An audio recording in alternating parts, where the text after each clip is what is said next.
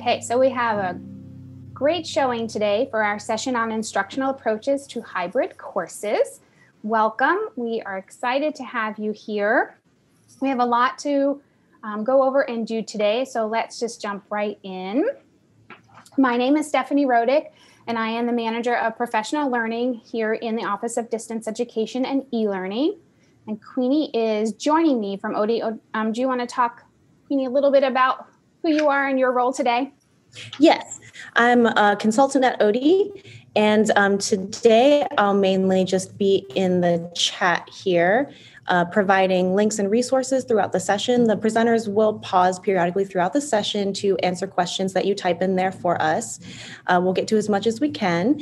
Um, and just to make sure you don't feel too overwhelmed, you don't have to open the chat if you want to focus on the presentation and not follow every single thing that's going on in the chat. That's totally okay. I just post resources there as a supplemental reading material in case you want to learn even more about each of these topics as we talk about them. Thanks, Queenie. Teresa. Hi, I'm Teresa Johnson. And for starters, I'll go ahead and post oh. the link to the slides as well as a couple of things in there for you. She's delayed, Teresa. Sorry. Go ahead, Teresa. I figured it out. Uh, good morning, everyone. I'm Teresa Johnson, and I am the high impact uh, curriculum expert for the Office of Academic Enrichment. So I am very thankful for um, Teresa and Queenie's help today. We um, have about 90 minutes today to hopefully help you meet um, five different outcomes. So um, today, we are hoping that by the end, you'll be able to define kind of the different ways that you can structure a hybrid course. We hope that you'll be able to identify the opportunities and challenges of hybrid uh, courses and designing and teaching them. We hope that you'll be able to make some decisions on how to implement particular strategies. And then we hope that you'll be able to consider ways to incorporate student engagement um, and different ways of delivering content. And then obviously, for all of our sessions, we hope that you'll know where are the resources, how can you continue to get help. So, based on those outcomes, our agenda looks pretty similar to that.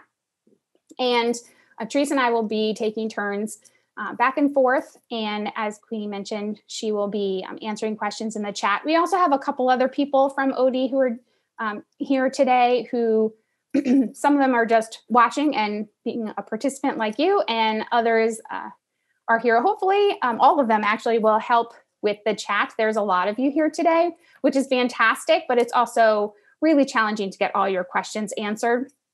So if it's um, if you start seeing other folks from OD answering questions, that's why.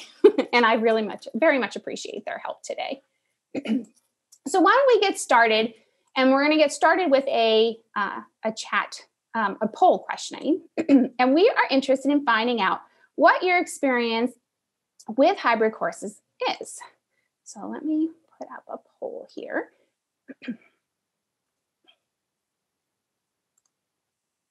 All right, you should all be seeing a, a poll up there. What is your experience with hybrid courses? And this is multiple choice. So select all that apply.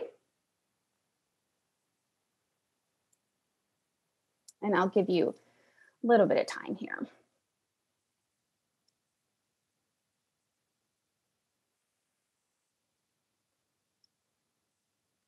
All right, we're just over 50%. Oh, you guys are so good this morning. You're all on top of this. We're almost at 90%. Interesting. So it looks like the winner is uh, the folks that are going to be teaching a hybrid course in the future. That's good. And those who have never taught a hybrid course before or are considering. Yeah, we so our six people who've taken a course as a student, please feel free to add your perspective from the other side. Right, we have a nice range. looks like this will be a good conversation. All right, so the next thing that we uh, want to do is to give you a chance to get into small groups since it's going to be hard to talk with this many people. Um, we're going to give you a chance to, for about five minutes, to get into a small group and briefly share answers, your answers to the following questions.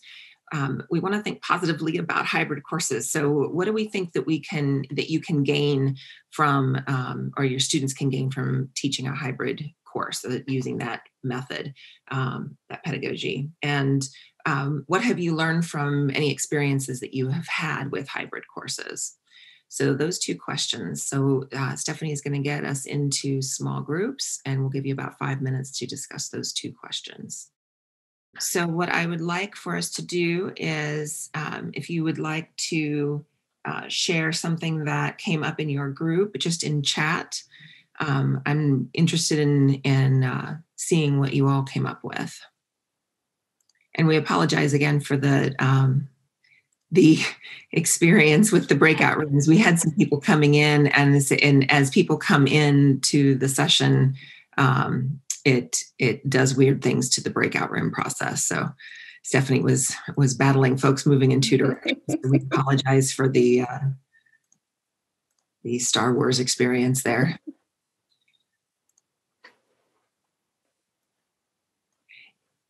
yes, we are happy to put the questions in the chat box. Uh, Queenie, can you um, help us remember to do that so that they have them when they get We have one at the end, so. All right, let's see. What are we seeing come in here?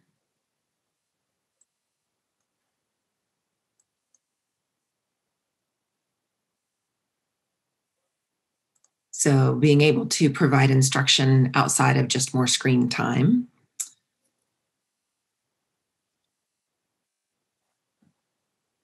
you can chat you can put your answers in the chat that's how we'd like to do that with, so many people we can't come off of mute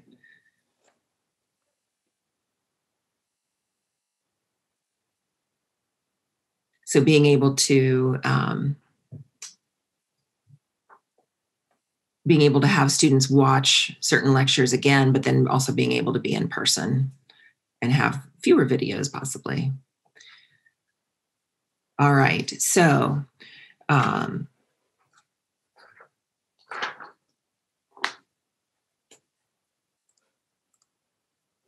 yeah being able to watch videos on their own time. All right so thank you for those and we will we will get back to more of um, of those benefits of um, hybrid soon. So stephanie's going to take us through some different definitions of some different modalities so that we're all talking about the same thing here today.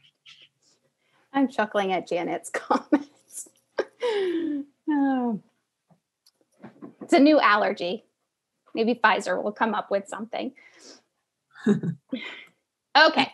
So let's quickly go through some of the types of modalities. And I'm doing this as a way to start making sure that we're all on the same page in terms of what are the, the terms that we use to describe not just teaching in the hybrid course, but in lots of other things. So this is just a list of the, the ones that we'll go through today. And one thing you will find if you start to dig into the literature is that people start to define things, starting with hybrid down, all different ways. So I want to make sure that we're all on the same page today. And I'll give you the way that the university and uh, Teresa and I think about these particular kinds of modalities. So, this first one, hopefully, no one disagrees. so, we've got our standard in person course, right? And we have lots of different um, slightly vari- slight variations, I should say, right? So it's not all 100% in person. It can also include, right, a, quite a bit of work online. That may be that they're taking exams online, right, or they are getting their readings online. Um, but generally speaking, this is our normal kind of in person class that we have. There is a very consistent schedule, though. The students know that their classes are Tuesday and Thursday for 80 minutes? And so their schedule may look something like this, right? For a Monday, Wednesday class. They know they're coming onto campus, they're coming into a building on Monday and Wednesday, and they've got homework and other things that they have to do on the other days. The other one I think we all can agree on is the distance courses, and that is 100% online. There are no in person options for a distance course, right? So everything happens um, online. They don't have anything required to come to in person, and there isn't necessarily a f- specific set or formalized uh, schedule for when um, things happen for the course, right? I mean, obviously you have due dates, right? And there's a structure, but it's not like they know that they need to log on and do this one thing at 10 a.m. on a Tuesday, with an exception. So, most of the time, we have um, an example that looks like this for the students who are in our online programs. They know that every day they're going to have something that they have to probably do on Carmen, some reading, some activity, some assessment, with other things that they'll need to do for homework. Or sometimes our students do have um, some kind of Zoom experience. And in particular, during a pandemic, that's really helpful, right, to keep some kind of connection. But some of our online courses do have a synchronous component, right, where they're all meeting up online. It could actually be, um, you know, for um, office hours, even maybe not an actual lecture. And then we start to get into modalities that maybe not everyone knows very well. So then we have at Ohio State a distance enhanced course, and other universities call it something slightly different, right? But a distance enhanced course means that it's mostly right uh, online, and there's a portion of the course that's happening on campus, anywhere from know a teeny tiny bit to just under a quarter. And when that happens, it's usually for things like come and take this exam right in person or let's meet in the beginning and of, the course and get to know each other in person and maybe we'll meet in person you know one or two more times. Or maybe there's kind of complex activity that um, is better in person and they have to do that once. Or maybe there's a guest lecture that they need to attend but generally speaking it's mostly online with a few opportunities it's still not consistent though it doesn't mean that they're coming to campus right every tuesday it's still all online. And then there's just a few other opportunities. And then there's what we're talking about today, which is hybrid courses. So you can see at Ohio State, we have particular percentages between 25 and 74% of each. But generally speaking, what you'll see in the literature and what other universities do is it's generally somewhere around half, right? That's like the easiest way to think about it. It could be a little bit skewed one way or the other, but they're almost kind of equal parts so there's both the online and there's the in person. And the way that we want to think about these courses, and we'll say this numerous times today, is that what's happening um, in our online portion is that we're taking some part of an in person course and we're replacing it, right, by doing something online. We're not adding an online component. We're just taking things. If we think about taking an in person course and making it hybrid, we're taking pieces of an online course and we're putting it online. And we're going to talk today about whether or not those things become assessments, there are exams and assignments, or maybe those things are content, and maybe those things are activities, and a combination of all of those. But this happens on a consistent basis.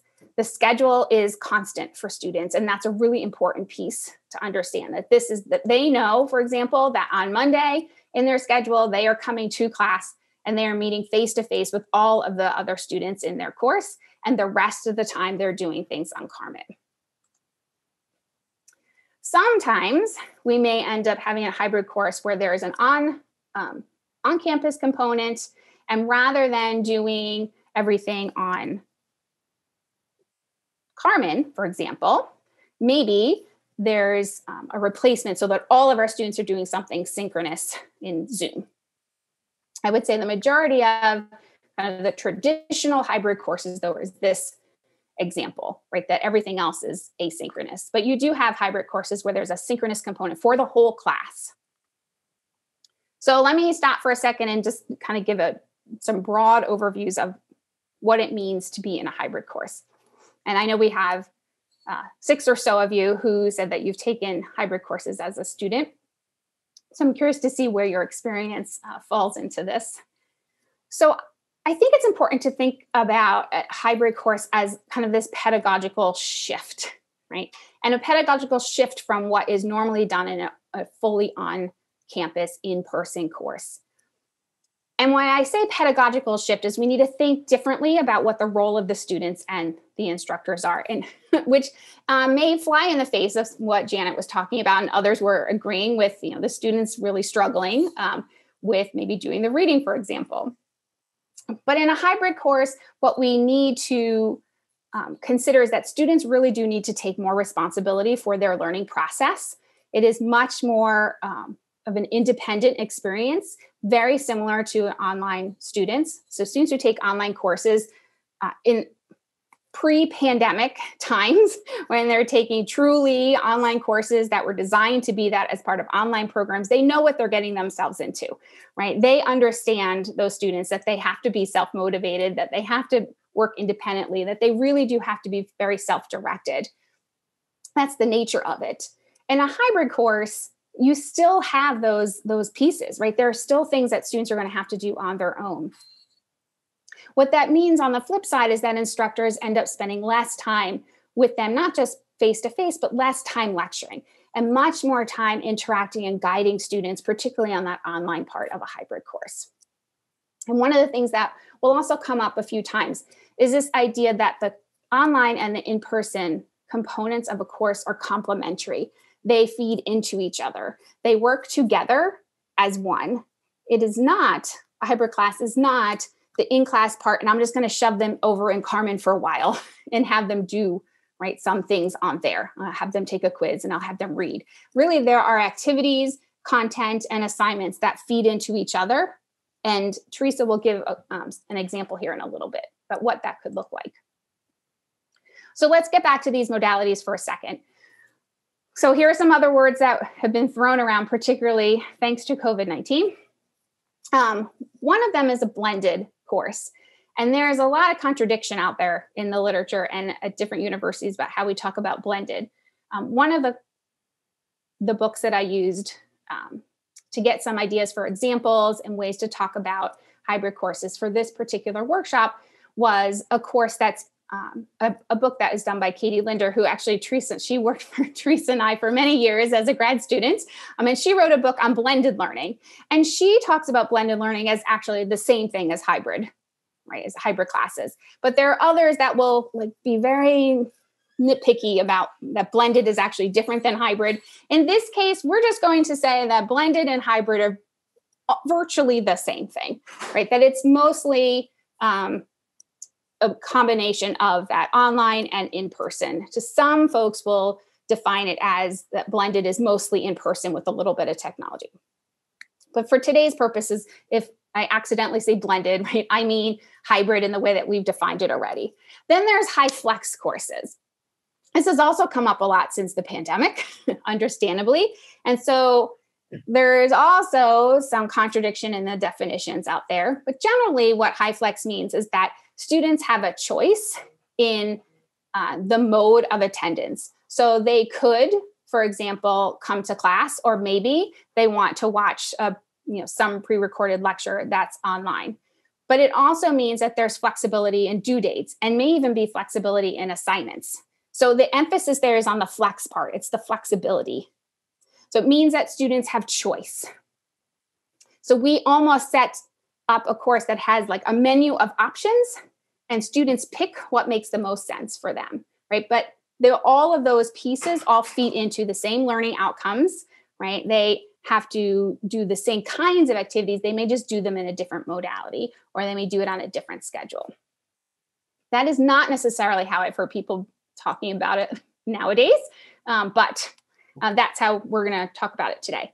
And then lastly, there's simulcasting. So, simulcasting may be something that you guys have been doing. I'm kind of curious to know if any of you have been um, attempting to live stream your in person class for students who are taking you know, it online. So, they may be quarantined, they may be ill, um, they may have just chosen to um, just live stream in and, and yeah, so Lexine's been doing some simulcasting. And for some folks, we've been hearing it's working fine.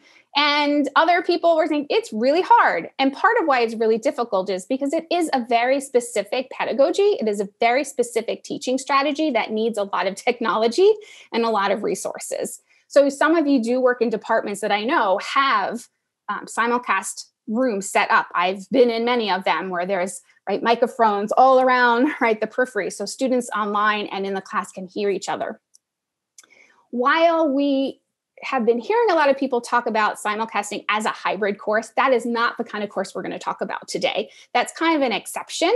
Um, I know some of you are doing it. I do think you'll get some good principles and ideas out of today's session, but we are not going to talk too much about the simulcast aspect today. It is very challenging, as Maggie says. It, it's not easy. Um, and it's just because that's not what we're set up to do.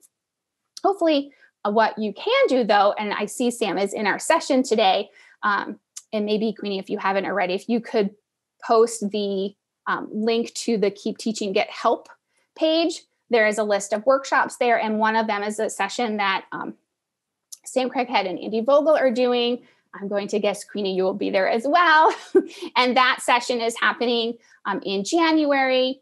And it will really help you think through how do I actually teach that kind of course, this kind of hybrid or in person course, using the kinds of spaces that we have here at Ohio State. Um, and that's one aspect of it. There are other pieces to it. But in particular if you're interested in like how do i make this thing happen? Like what's the equipment in this room? How do what are some of the strategies i need to employ? That's the session that you should go to. All right. So we have just like 30 seconds or so to see. Are there questions queenie that have come up in the chat about just generally the course modality definitions? I have not seen any come up yet but let's give people okay. a little moment to type Thank you, Sam, for that's the title. I couldn't remember the title. Supporting physical and virtual environments and hybrid and in class. It's a it's a it's a mouthful, but accurate. it's an accurate title.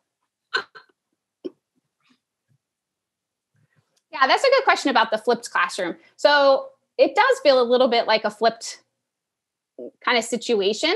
Um, and I can see that there's there is a parallel to the hybrid where maybe you have students do some of the material, they read the material, they may do some practice things um, online, and then they come to class and then they do some activities together or discussion, right? That's kind of a flipped classroom. But a flipped classroom doesn't have to be hybrid, right? So a flipped classroom can be that the stuff you have them do online is already you're just flipping when the homework happens right? So rather than have them do problem sets or do the case study during the um, doing the homework on their own there you're flipping it so that they're doing the problem sets with you but they're doing the reading beforehand. So it's not necessarily a, a hybrid um, it's not necessarily a hybrid class but there are, are aspects that feel similar to it. And we'll get into very quickly here teresa's going to get into like thinking about how to make decisions about when you do different parts of the course. So you will see some of that aspect but a flipped classroom is not a hybrid course. Okay so um, if there are other questions that that come up, we will we will try to get to those later. Um, but what what I'm interested in having you do now is tell me in chat now that we've sort of very carefully specified what we mean by hybrid courses. What do you think the benefits of hybrid courses would be for both students and instructors? Let's let's uh, dump some quick ideas in the chat and see what you come up with there.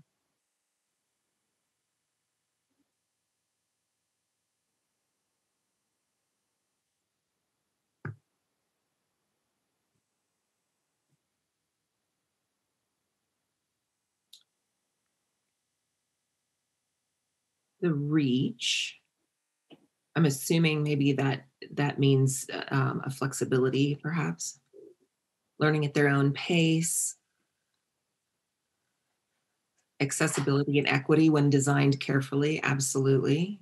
It's the carefully part that's important there.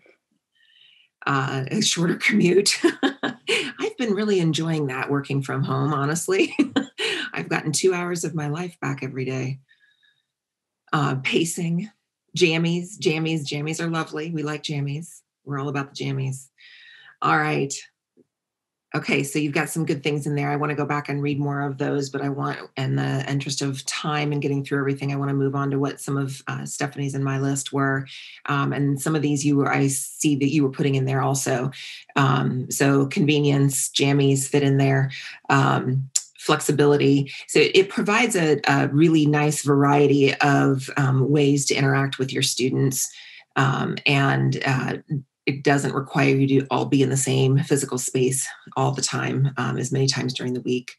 Um, we also think it's important that it um, allows a very different way to engage with material and probably more time for really thinking about that material um, more time to think about and and um, put a structure together that you can then interact with each other about um, because it's not all together speaking at the moment all the time. Um, it also can provide, uh, and maybe this is counterintuitive, but there, there are really good ways to provide more student student interaction um, and more student teacher interactions and connections. And this has been shown in research both outside of Ohio State and here that um, you really can get more very solid interactions that way. Um, and we also see in the research that we generally, in a well designed course that is hybrid, get increased motivation and greater learning. So there are some really solid research based um, benefits to this type of teaching. Um, and not surprisingly, um, the reason that you can get that really great um, increased learning, increased motivation, some of these really nice benefits is because you can take the best of what in person classes are good for and what online courses are good for. And if you plan it carefully and bring the best of both of those worlds together, you're going to get a really nice synergistic effect here where you can take the best of both of those worlds and um, put them together into one course and uh, provide a really great learning um, environment that way. So, um, the important part about making that actually happen is that you think about um, not just sort of smashing two things together, but that you carefully interweave um, those complementary components of those two types of teaching online and in person. So, um, we're going to spend a good bit of time today talking about how one goes through a design process, really uh, ways of thinking to make sure that you can do that. So, an example of what that might look like this is just one example of many possibilities. So, perhaps the first thing is that you have your students read some material or watch a brief video, and they do that before they are in class together in person. And then when they come together, um, you as the instructor can facilitate a discussion about that online material that they've already read. And then perhaps after you've been together and you've really discussed this, then students can do some sort of um, a writing assignment or a reflection or some sort of this is what I've learned based on the class discussion that we just had. And that can happen online. Um, and then the last thing here would be that perhaps the students post that assignment. So they show their thinking to their peers and the peers can respond to each other then about each each one's reaction to that. So you can see that it's a, it's very tightly woven together and in a very particular order. So it's the thinking is very intentional there. In order to do that there are some challenges that we have to really think about. We have to think about the fact that a hybrid course really requires some very careful time management skills on both parts of the instructor and for the students. So we have to very carefully plan out when things need to happen and things need to actually get accomplished during those times, or the rest of the plan sort of um, becomes a jumble if we don't do that. Um, it also means that we need to be prepared to use a variety of technology tools and we need to be prepared to use ones that work best in that situation. Um, and so that means that we all need to be open to learning some things that maybe we didn't know how to do before. And we have to think about how we teach those things to our students because they aren't necessarily going to come with that ability to do that already. It also means we have to be very clear with our communication about where things are happening, when they're happening, and consistently about how those things are going to, to occur so that students are in the right place at the right time, because there's a lot of different places that we're interacting. Um, it also means that we need to be very clear about our expectations and the format about how this is going to happen. We just all need to know exactly what what this is going to look like, both the instructor and the the students in this case. Okay, so having said all of that, I want you to take 30 seconds to a minute. We're just going to give you a little bit of quiet space to reflect on your own, write some things down. Um, which which of those considerations that we just went through do you think that's going to be a, a real challenge either for yourself or for your students as you look to possibly teaching in a hybrid situation? So just take a moment and think about that.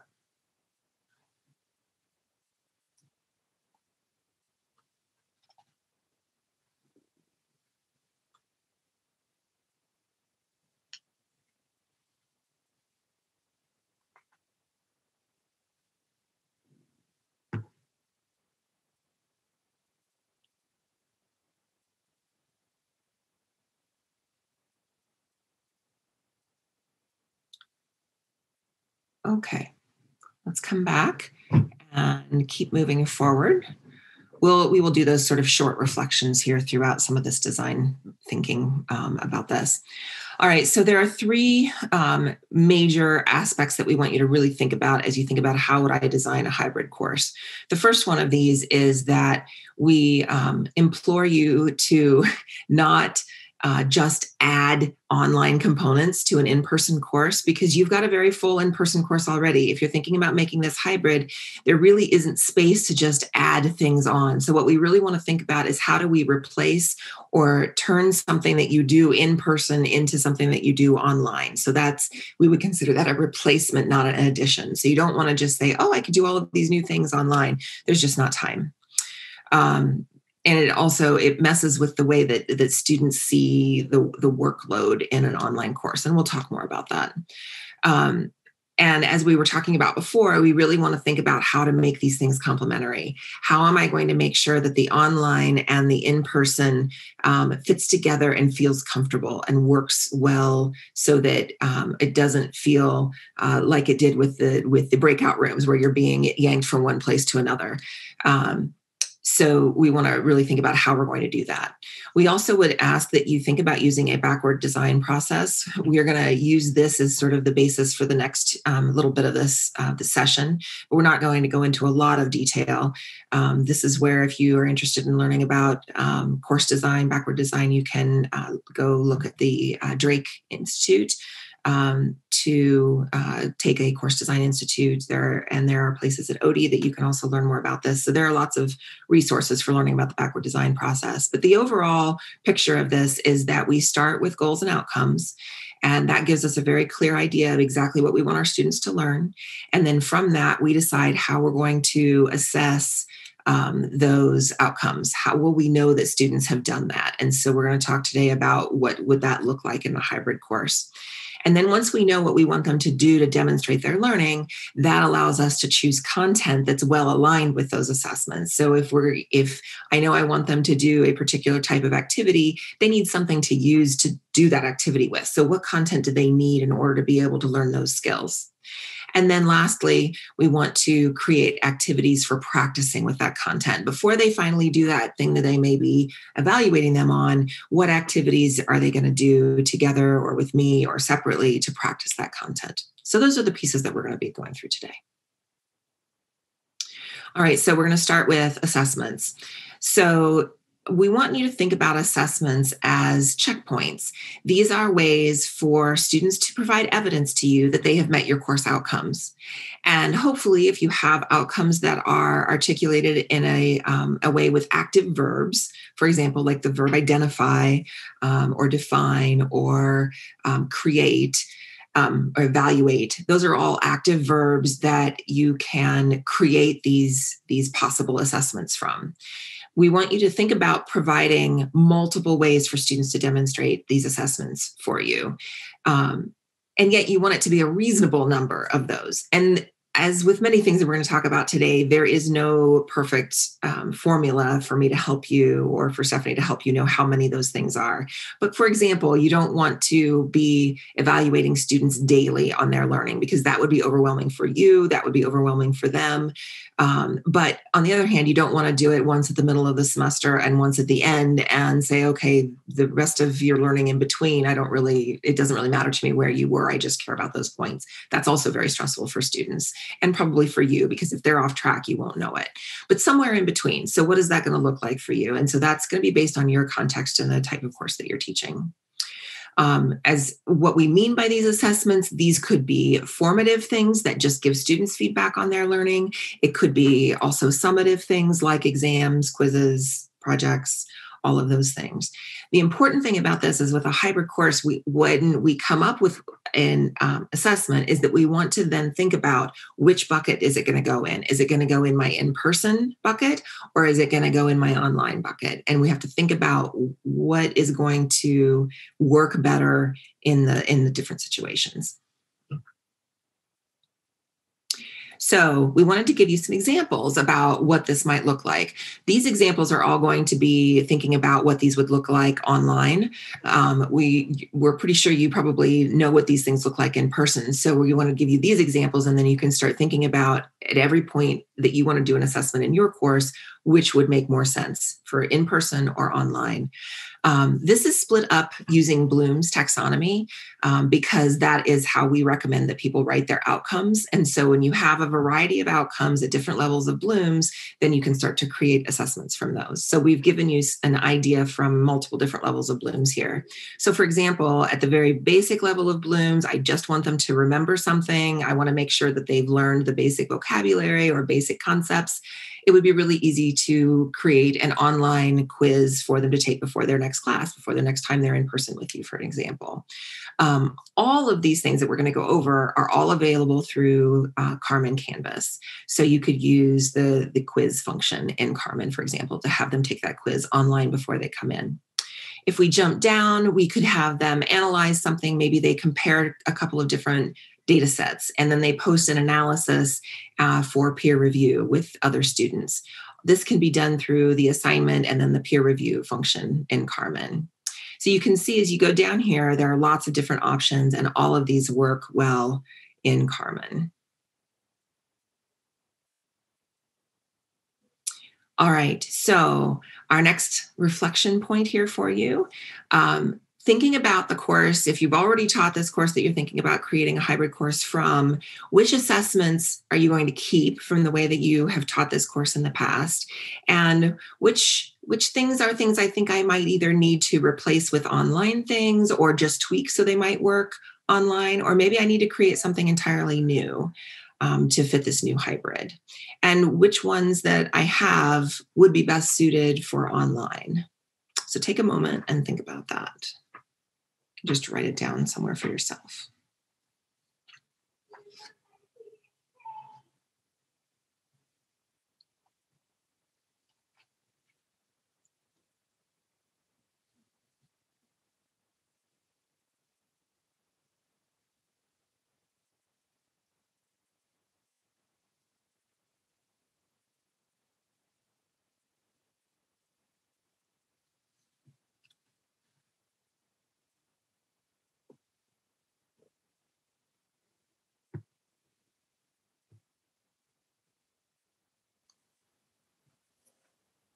Teresa, as they're reflecting, we are doing fantastic with time. so um, if there are questions or if I see Laura has something in there that we are we are fine on time to address some of the things or if anyone wants to share in the chat you're welcome to or if you have if i've gone too quickly because i was trying to make sure we were on time and you'd like for me to go back to something i can do that too so laura says that uh, the challenges this past semester um, that the students didn't do anything asynchronous. Um, and that that is a challenge. Um, and I, I think that i think that's always difficult. I think it's even more difficult right now with um, covid. So i would i would um, give yourself some grace and give them some grace. And perhaps the things that you are trying now if you're trying some things that you thought um, should have worked um, try it again when we are out of, of this highly stressful period and see if they work better. Um, but typically, the things that we encourage people to do is to make sure that the, the that complementary nature, uh, that the asynchronous things are going to build into something that um, that is is that they will have needed to do those things in order to do well at it. I saw somebody, I, I, and this is, I'm hearing this from my daughter's second grade class as well, that the students are skipping the videos and going straight to the assessments. Um, I'm assuming that that didn't work as well for them as that they had hoped. so that's one of the things that you can do is point out that I see that this is what's happening. You're skipping the videos, but then you're not doing as well on these assessments that I've built for you. It really will make it easier for you to do better on these and get better grades if you go back and watch what I posted. Um,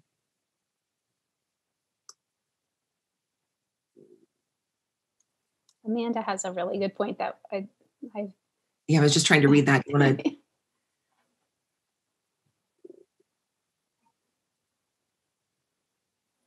just the expectations and the experience between the in-person and those online components are very different. So thinking really carefully about if, for example, we're having a new discussion post, if we're in a classroom situation, we're not asking every student to comment on every single discussion comment, right?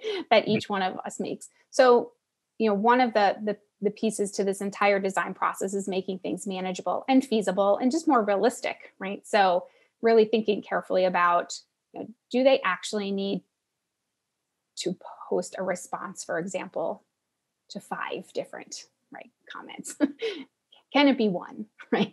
Can it be that you have to do three over the course of right three weeks? Are there ways to make it a little bit more flexible and more manageable? Because then you do have to do something with those those assessments, right?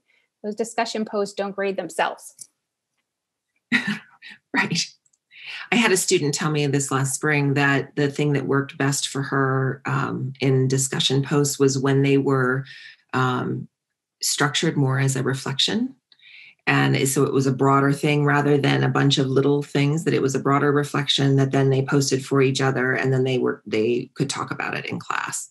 So I thought that was an interesting idea of a kind of a way to, to change um, to change that a little bit.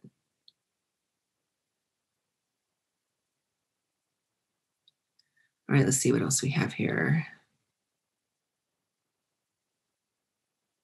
Okay, some issues with multiple choice exams, uh, struggling with that. And um, yeah, I know that there are some resources for um, figuring out how to set up exams and um, making choices between that and open book in Carmen. That's a whole different topic. Yes, hybrid is hybrid is it the yes, it is more work.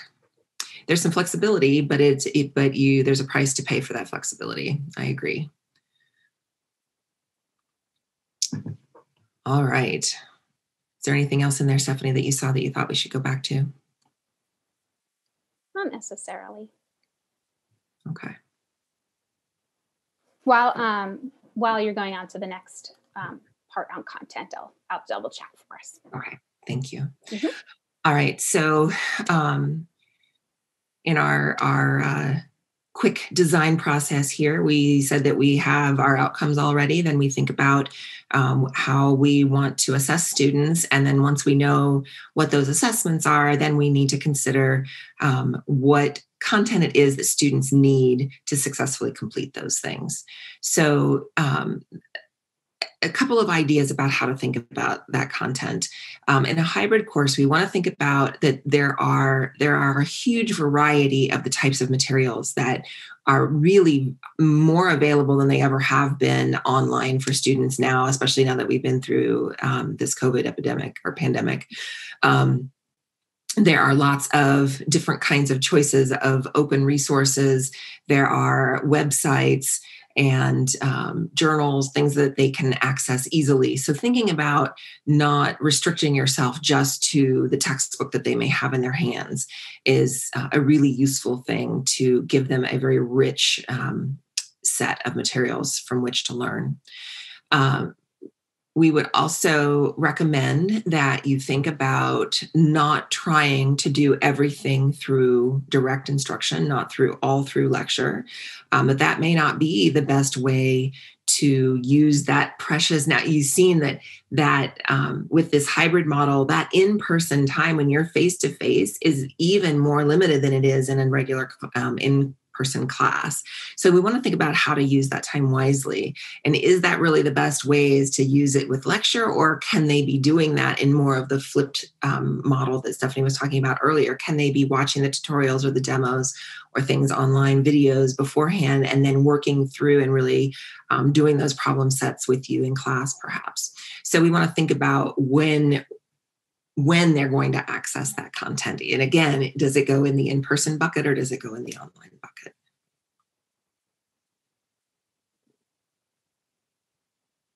All right, so um, another reflection question for you to think about on your own here. Um, and as long as we are still doing okay on time, I'm happy to answer questions that you have about it. Um, so think about what is the variety of, of content that I currently use for my students to learn this material. Um, is it already a large variety of this? Are there ways that I might be able to um, increase that? Um, am I comfortable with the idea of giving up a little bit some of those lectures? Um, maybe I record them and have them watch them asynchronously, or maybe I give up on feeling like I have to te- tell them everything in person. Can they read something? Can they work something out on their own? And that's going to be different for every person. Um, this is also a um, a good place to tell you that if you are interested in increasing the variety of materials that you're using, we have an incredible staff of subject librarians that are um, available to you at our library. And um, perhaps, Queenie, you could give us a link to the um, the subject librarians. Um, there are, I don't know how many there are on campus, but there are a ton of them, and they are so helpful. I have I have gone to them repeatedly, and it's um, that's really a useful thing to think about when you're increasing the, the variety of your content. Let's see what's coming in here.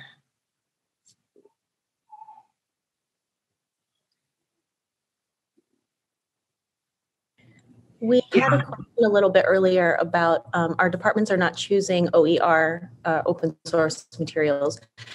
I wonder if we can choose them. Stephanie, do you know the answer to that? I, I don't know what the what the. I'm not sure if I understand the question. I, I um, know it had to be something that was chosen at the departmental level. It isn't, but but departments are it depends on what the department is and which department we're talking about. Right. So that may be a contextual question. That may be something that we can mm-hmm. answer more specifically later. Yeah. In math and stats. I would still probably contact that that subject librarian directly. Um, there isn't. They are part of. They work closely with ODEE's ALX group, so that's the um, affordable learning uh, group.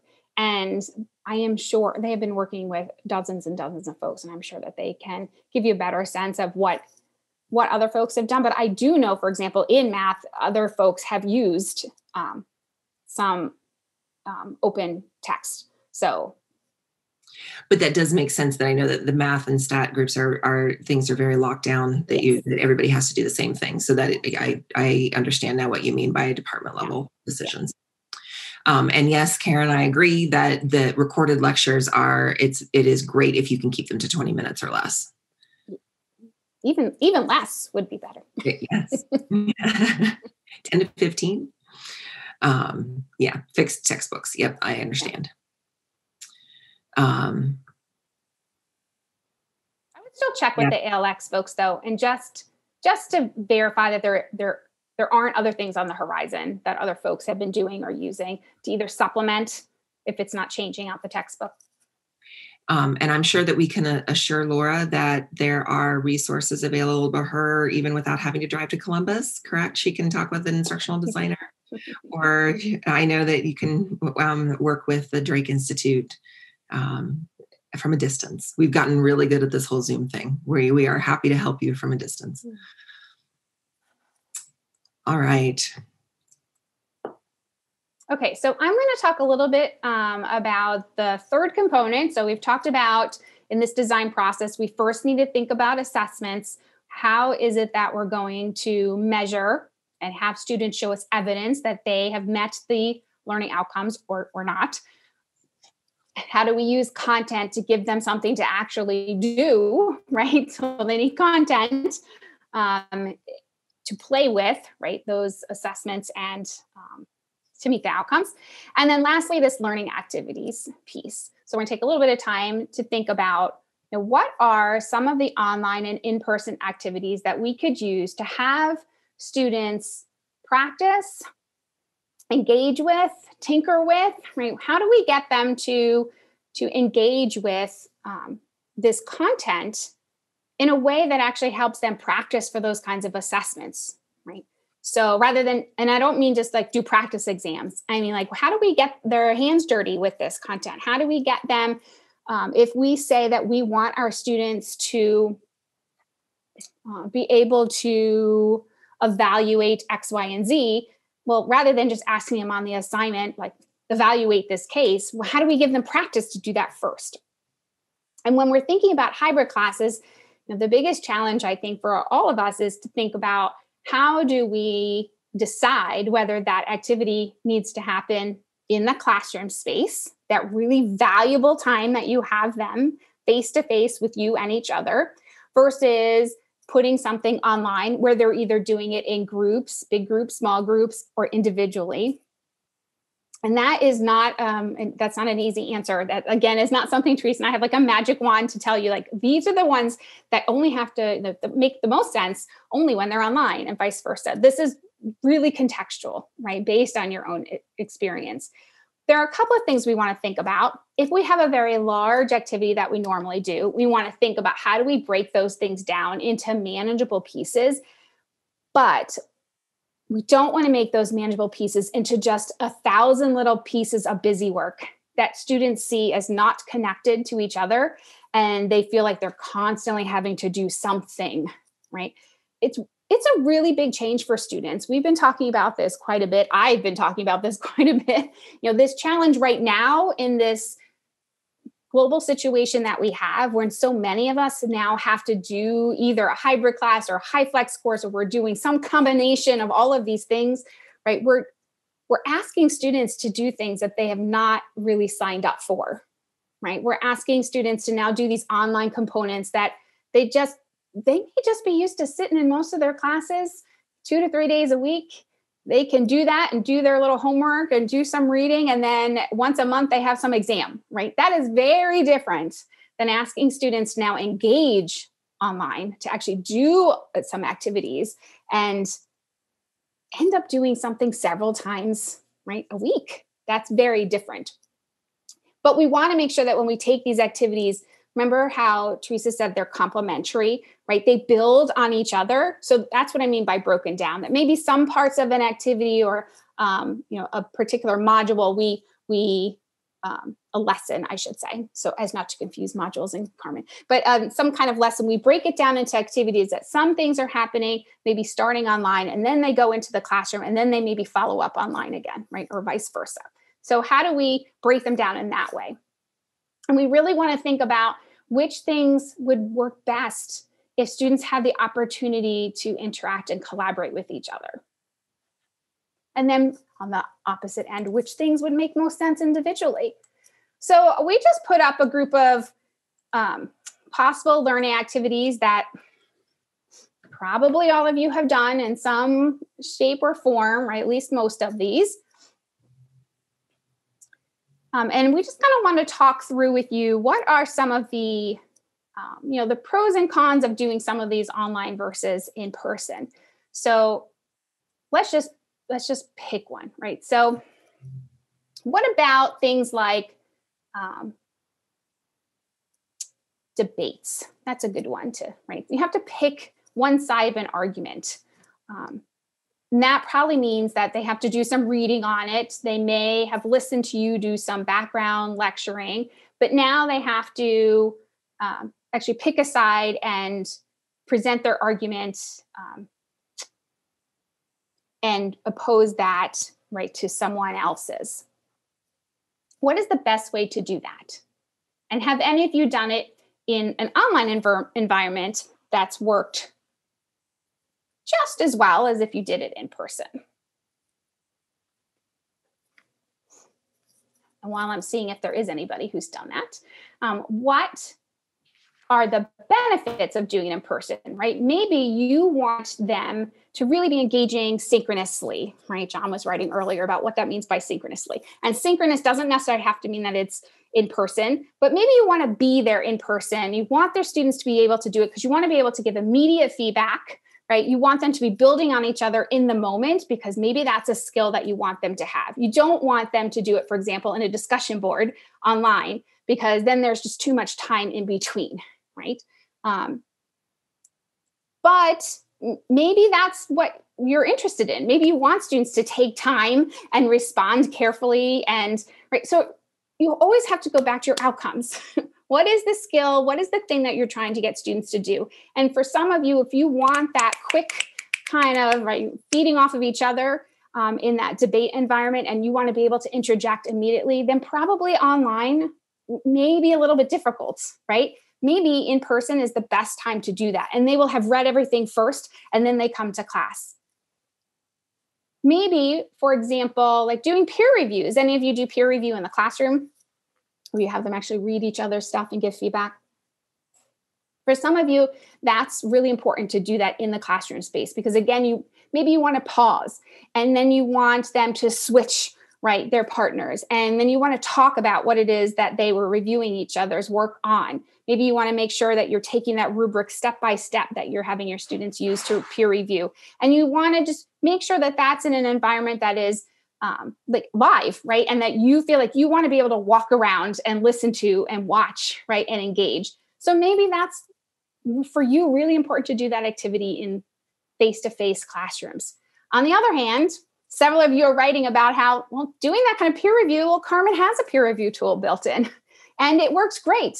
And if i provide a rubric for my students that that is the tool that i want them to use and then they get to give each other feedback and i can even have them give each other right in that peer review um, when you set peer reviews up you can have them review each other's or it could be uh, just completely you know random um, you can have them do more than one peer review, and maybe online works perfectly fine for you.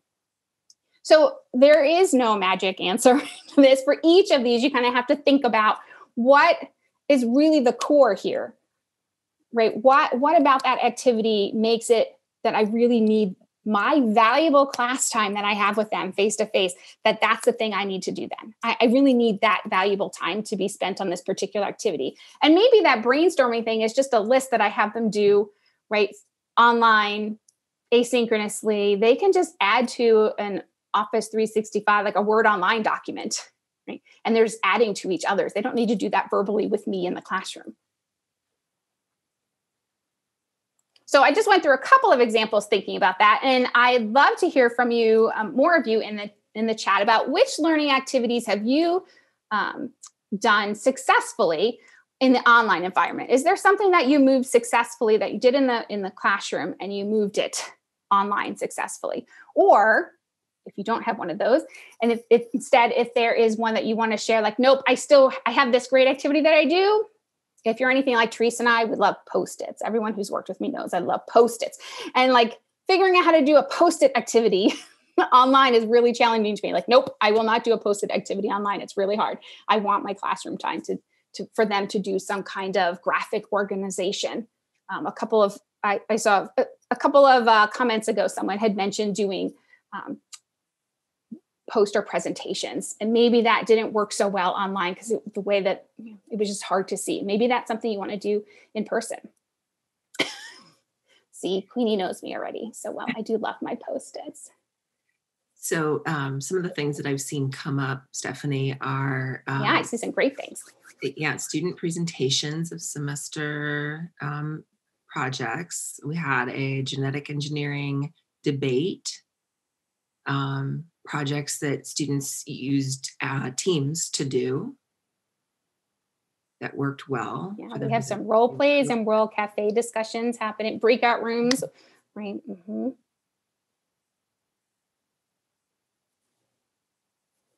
Yeah, we do. I'm going to talk a little bit about some tools to use. I know you were having a previous previous conversation about that. We do. I do want to briefly go over some of the um, tools that you can use, and um, one of them are virtual whiteboards. I saw someone talk about that. Good. So we've got lots of examples here, and maybe this is a good time to um, remind everyone if you haven't seen it from Queenie yet in the chat that if you find the three little dots down at the bottom of your chat, there's a little box with three dots. If you click on that, then you can save the chat, and that way you have all of these ideas and links, and we'll remind you as we move along.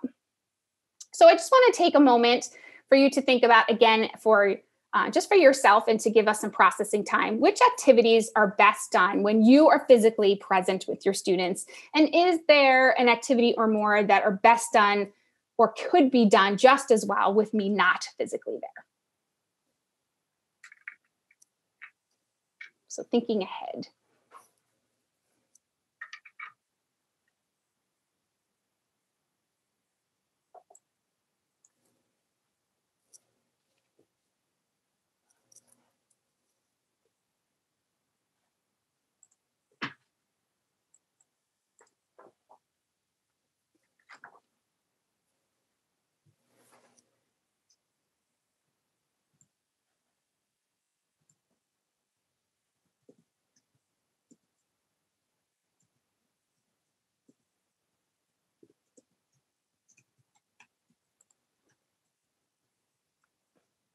Okay, I'm going to invite you to put into the chat any questions that we haven't gotten to so far. Um, so let's um, make sure that uh, that you know that if you put them in there, we'll get we'll get to them. I'm going to talk a little bit here in a moment about um, pulling things together, but I know there um, while I'm doing that, Teresa or um, John or Sam or any of our other folks could probably help answer that question. So let's talk about pulling things together. So we talked about this design process and these three major things, the assessments, the content, and the activities.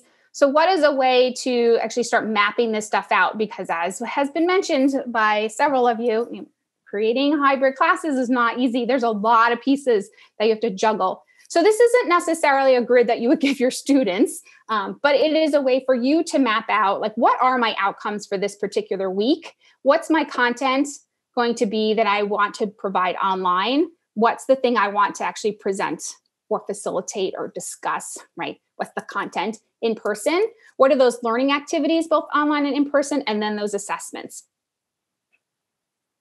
And I just wanted to give you an example of one that is partially completed. So uh, it's really important in hybrid classes as in online courses or anything that's like not your students typical kind of way of engaging in a course it's really important in week one to take some of that time to make sure they understand how this is all going to work. And so getting them engaged in the the online and the in-person piece is going to be incredibly important. So you have to map that out. So here's an example of in week one, this particular person wants their students to be able to navigate through Carmen. I need to make sure they understand where all the pieces are. And I want them to be able to meet each other and I want them to be able to use the quiz tool pretty quickly because we're going to use that for surveying and polling and for quizzing later on.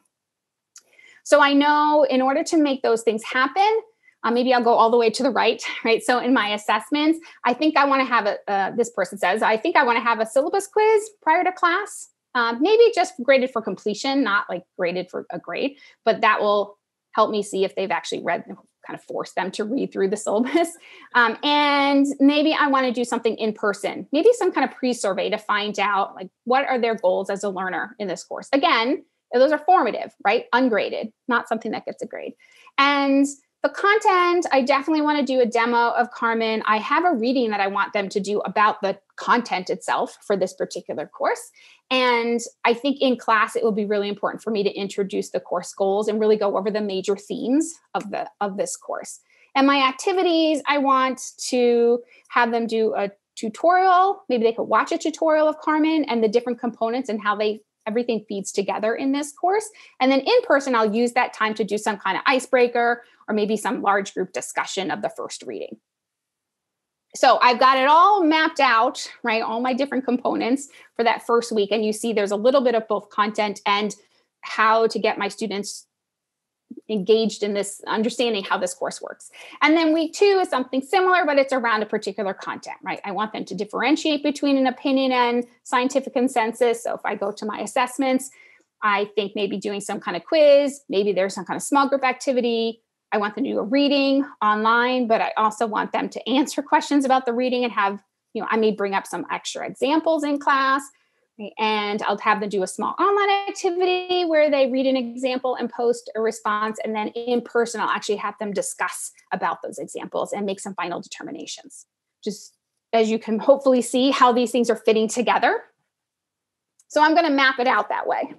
Now, when I'm also planning, I'm going to add more columns to this, and it's going to be about what are the tools, right, online. So all the pieces that are online, particularly those activity parts what are the tools that I want to use? And we've already given you some examples of Carmen because that's the simplest thing to use, the thing you have the most support with, the thing your students are most familiar with, and probably you are most familiar with. But there are other OSU tools that I just want to make sure that you have. Um, when you download these slides, you'll be able to click on each of these links and they'll take you to the main page for each of them. So if any of you are doing any of that kind of blogging or you're wanting them to create a wiki together where they're creating a website, you know, as a, as a group, um, internally at first, the u.osu.edu tool works really well. I've used it for my own classes. Um, maybe you want to um, use our Top Hat system for some polling and surveys. And then Microsoft has a lot of tools, and we're moving more and more towards using more of the Office 365 tool set as we move things over into using Teams more. Um, some of you will be using OneDrive more. Some of you have already been using the OneNote system. Um, Yammer is also supported by Ohio State. All of these things are supported by Ohio State, which means if there is an issue that you have, you can contact the IT folks and say, I am not making X, Y, and Z work well, and so can your students. That does not mean you have to use OSU supported tools all the time. You can use non university supported tools, and these are just a very few, and I've seen a couple others pop up in the chat, and I love to use this as a time for us to kind of crowdsource other tools that you've used. Um, so if you have others that you haven't added to the chat, please do. Um, these are ones that I know people have been using. I've done quite a number of workshops. Sam has done them with me um, over the years on other tools that are not necessarily um, stamped with approval by the university. So if you have a problem with Kahoot not working, you can't contact right the university's IT support. But we do know that people are using it. Um, and it's a nice little system, right? It's fairly simple. My kids use it all the time in their classes. Um, I know some people at the university are using Slack. You may decide that you want to use Microsoft Teams because it is a supported tool and you could figure out how to use Teams to do the kinds of things that you want. Um, maybe some of you have been using H5P. It's come up in a number of workshops we've done. It is, again, not necessarily a supported university tool. Um, so people can't here, like in ODEE, we can't help you create things using it and we can't help if it's broken. Okay, that's a really important piece. It does not mean that you're banned from using it though. Okay, you just have to recognize um, that any challenges you have you'll have to kind of figure out through their own helplines right? You'll have to contact the h5p folks. I, is this you teresa who keeps mentioning miro your favorite? Yeah. I didn't bring it up. I just wanted it, because Pamela said that she really liked it, or she wanted to know if anybody else had used it, and I said that. Got I it. I don't know um, the answer to Amanda's, Amanda's question. I don't know if Sam or Queenie does, um, but I'll look it up here after I'm. If they don't, I will uh, look it up here in a moment. I want to get you back into small groups for a really short amount of time here for you to kind of process together. I'm going to start these groups afresh um, and not have you guys zapping through space like I did. My apologies. Um, I'm just going to do this for a few minutes for you to share. You know, is there one kind of piece of content or an activity that you feel like you really do want to keep online? Um, and what's something that you want to move maybe online if you were to teach a hybrid course in the future? All right. So, lastly, I want us to talk a little bit about how to communicate those expectations. If you remember in the beginning, one of the challenges that and considerations that Teresa mentioned was communicating those expectations and making sure we're all on the same page with our students. So, how do we do that communication to prepare students for success in our course? Um, there are a few ways to do that. One is to create, create a consistent module organization in Carmen, and I'll show you an example. Um, we want to obviously always provide clear instructions for assessments and activities, but particularly because in a hybrid course, you know, they need to understand very clearly what's the thing that's happening online and what's the thing that I need to prepare for for in class. So I'll also share an example of that. Another important piece of that communication is not just what text we're writing, but also how do we make sure that we have some social presence. It's very easy to do that in the in-person class, right? Because we're there and we're going to remind them right? This is um, what's coming up. Here's how the pieces fit together. Thank you so much for your you know your hard work on the assignments right those are kind of things we naturally do in um, in the in class environment and if you're not as comfortable with the online part we need to make sure we're doing the same thing in the online part what kind of videos can we put together what kind of announcements can we be writing to help them understand the flow of the course um, and just communicating with students as you know making sure that they see you and you know they know that you see them. One thing i do want to mention is there is a syllabus template that will help you with some wording for lots of things but three in particular the technology requirements. So what do you have to write on your syllabus if you are using some of those other tools whether or not they're supported by the university or not? What are the um, academic integrity things that we probably all should should say what are the um, lots of things opening up here on my computer. Discussion guidelines, right? So there are some examples on that syllabus template that I think would be really useful for you. And then I want to just briefly, very briefly share with you, you have these slides. Um, Queenie will probably share them one last time before you leave, but there are three examples I wanted to show you. The first is like, what would it look like for a syllabus statement? What could you write that would help your students understand what those expectations are? And this is an example of what someone wrote for a three credit hour course. This first paragraph here talks about see if I can do a laser pointer, right? This first one up here talks about the hybrid format. So that's what it means for this particular class, right? These are um, the ways that we're going to engage um, and how we're going to engage. And in particular, the in class requirements. So here's when we're going to be meeting. This is how long it's going to be. This is mandatory. This is like not just like extra. Like the in class, in person part is required um, here's what we're going to be doing. And then here's an example of like, here's the online requirements. So what's important in this one for me is spelling out this three credit hours. I think we should be doing this for all of our classes, regardless of what modality we teach in. But I think particularly for online and modality class um, and hybrid modalities, it's really important to kind of spell out like remember that a three credit hour course does not mean you work three hours a week. the expectation is that there's probably more like nine hours a week and maybe even more, right? Maybe there's 12 hours a week if you really want to get a good grade in this class. Regardless, I think about how you're going to talk about like how much time this takes, right? So what is the expectation for those online courses? How much work will be there? This is an example of what you may want to put in your syllabus schedule. Remember that schedule that we all kind of have? It's on a nice little table in a printed uh, syllabus, and it has like week one, and it just has like, you know, what the readings are and then when exams are. That will not work for a hybrid course. You need to spell out which things are happening in person, which things are happening pre class, which things are happening online, post class. Here's an example of one that's um, on a topic in week eight on um, ethics in social work. And that first one is right, these are the things you need to do. See how it's spelled out right here very clearly, big bold letters and capital letters, right?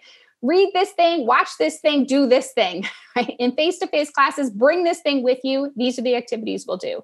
And then, as a follow up to that in person class, you'll read something online, you'll do the assignment, you'll read something else, and you'll do this other assignment. Right? So, that's an example of how really spelled out you need to be. And then lastly, here's an example of what your module could look like. And this is kind of a typical, like, there's lots of different versions, but a typical kind of structure that you'd want to use consistently. Remember, we had that consistent module structure, right? So here's the thing that's happening online, right? And it's going to take this long. Here are the readings that you have to do. And then in person, right? Here's the agenda for what we're going to do in person. This is just one example. I actually have another really good one that was just shared with me yesterday that I can email out if you're interested. Um, and I think there are lots of ways to do it. Um, but I think the most important piece here is that it's consistent and students always understand this is the online stuff, this is the face to face stuff. So we're not going to have you do this uh, and take a moment right now, but it is in your worksheet that we gave you a copy of. And we just want you to kind of, in your own time, wrap up this communication piece with think with by thinking about what do you need to adjust with your own syllabus to better communicate your expectations. And where we'd like to end before we just briefly talk about um, resources is for you to share with us if you're interested in the chat what is the most important takeaway from today's session? We threw a lot at you. So if you could pick one thing, what's kind of the most important takeaway that you have for any future classes that you teach in the hybrid structure? Yeah, replace don't add. I was glad someone so replace don't add is one of my is one of my key points um, that I have. So while you're writing down in the chat, I'd love to see what other takeaways you have. These are kind of my takeaways. Um, you know design early. This process as you mentioned is this is not easy. Design strategically and maybe incrementally. I really think it's important as teresa said early on to give yourself grace about lots of things right? Don't try and create the most amazing perfect hybrid course the first time out. Create something that's going to work and that is designed pretty well, but is not going to make you have to do somersaults backward and forwards of trying to figure all of this out. You don't have to do all of the technology, right? Keep that technology simple at first. Maybe just use the pieces in Carmen that you know and your students know. And then you can add other pieces in later and get fancier, right? Replacing, not adding, right? Replace course components. Don't just add more stuff because that's going to make you miserable and it'll make your students miserable. That's not what we need right now. So we want to make sure that we're not adding more things to create more busy work and everything is done very strategically and um, purposefully. And then lastly, of course, ask for assistance and there's lots of places to go. We are happy, Queenie and myself are two of the members of our consulting team who would be happy to help you think through what are the tools that you could use, um, ideas on how to make this hybrid course work. If you are interested in like bigger course design issues, of course, the Drake Institute would be a great place to go. And I do um, want to make sure that I point out that this particular session is one of many, almost all of our sessions, if not all of them, uh, feed into a teaching endorsement that is run out of the Drake Institute. And this one in particular is good for the, um, the technology enhanced teaching. So if you're interested in a teaching endorsement, that will get you the link there. So I'm going to stay um, on. So we'll Teresa and Queenie just for a little bit after this. Um, and Queenie, if you have to go, that's okay. But Teresa and I will stick around for a little bit if you have additional questions that we haven't got to. Um, and if you need to go, we totally understand. And thank you so much for joining us. We really appreciate your participation today and sharing your stories and your your experiences.